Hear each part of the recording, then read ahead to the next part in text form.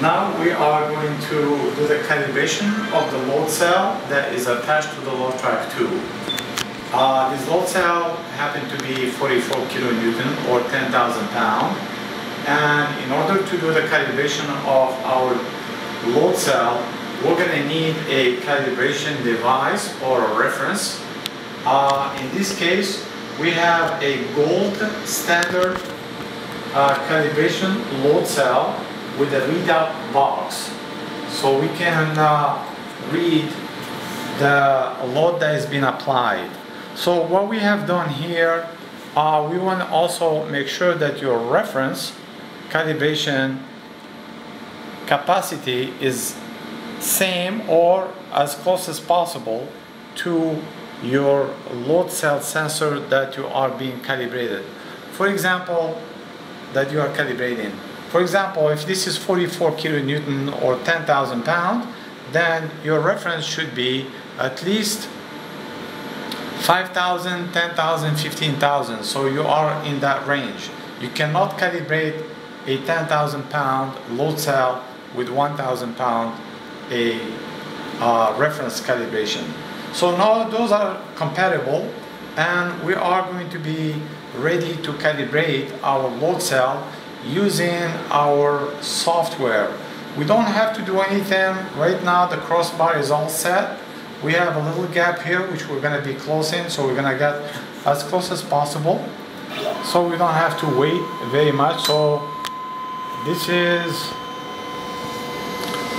you want to make sure that you're close but you're not touching because the software is going to take care of that so we're very close here and we're going to use the software to do our calibration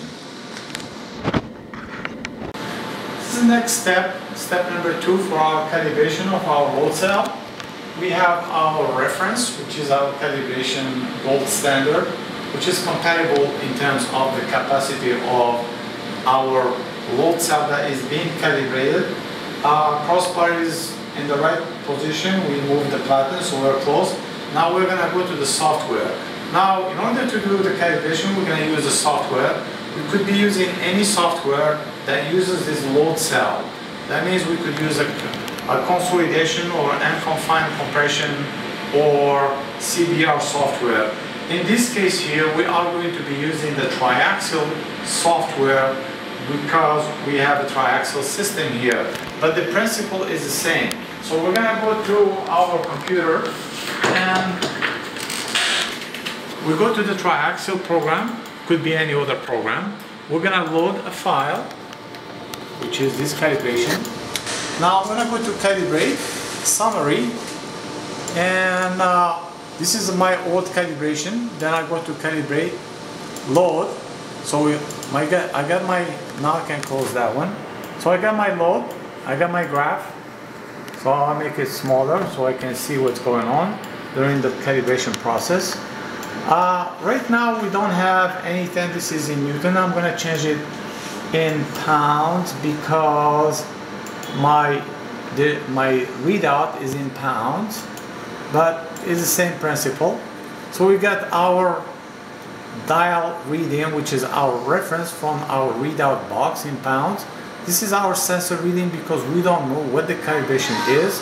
So what we are going to be doing next is we need to apply a load using the control in the software. All the other software programs, they have the same menu.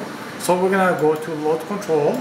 So we have now the load control menu the calibrate load and the load calibration graph all open at once.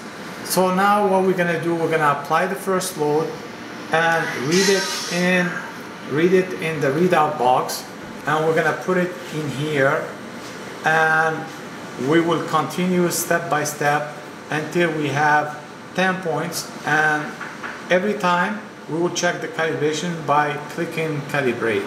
So let's do the first point and then see how it goes. So we're gonna go put 33,000 counts. That should correspond to 61 pound based on the old calibration. If the old calibration is not correct, we're not gonna pay attention. We'll have to look at the readout box what is going to give us. So when we do go, the platen is gonna be moving up until is gonna the load is gonna read 33,000 counts. Right now it's reading zero, it's about 32,800. That's our zero right now. If you wanna add another zero, we can put, this is our zero, we can do read. So it takes this value and puts it in here. That's our zero right now. Now this is 33, I'm gonna do go, and you're gonna hear the the LoadTrac 2 now platen is moving up until it's gonna touch the load cell and then it's gonna apply 33,000 counts which correspond to the load there. And will, then I'm gonna wait until everything is stable. Then I'm gonna read in my readout box. Right now I'm reading 62.71 that is the load that is being applied.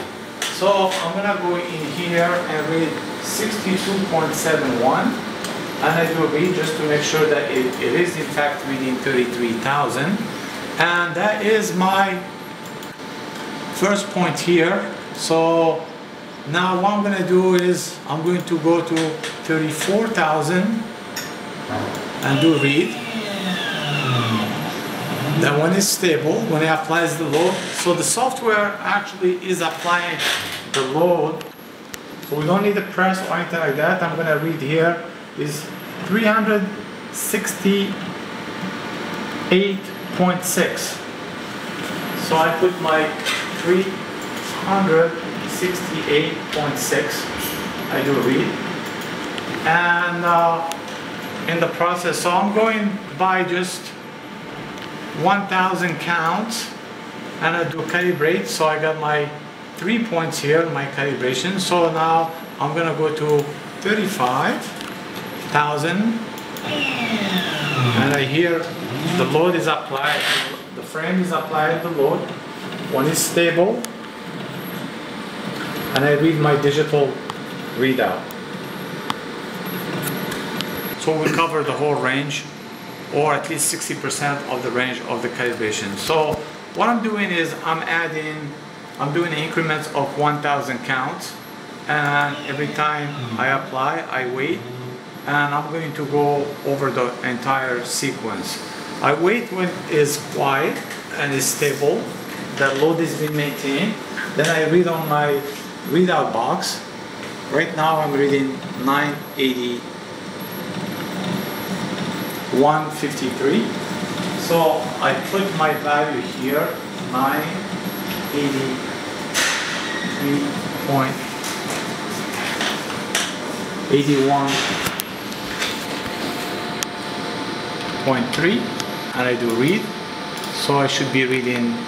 my target count, which is 3600.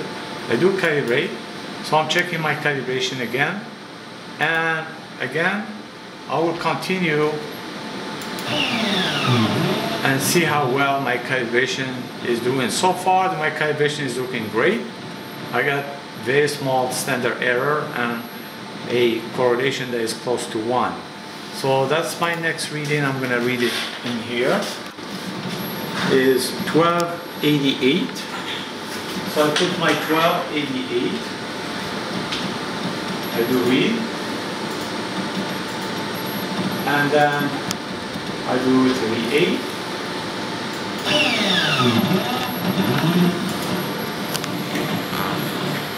How many points we do? Typically at least four. I like to do as many as I can. Um, so the next reading is 1595.1.